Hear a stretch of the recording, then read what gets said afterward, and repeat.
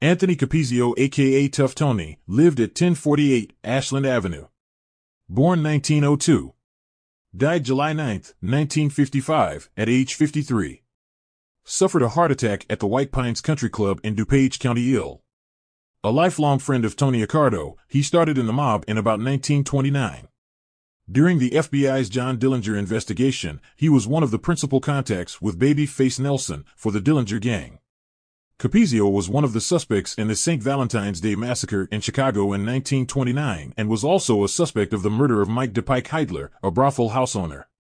Capezio was closely associated with John DeBiase alias Johnny Bananas of the 28th Ward in Chicago, who was a very powerful political force for the outfit.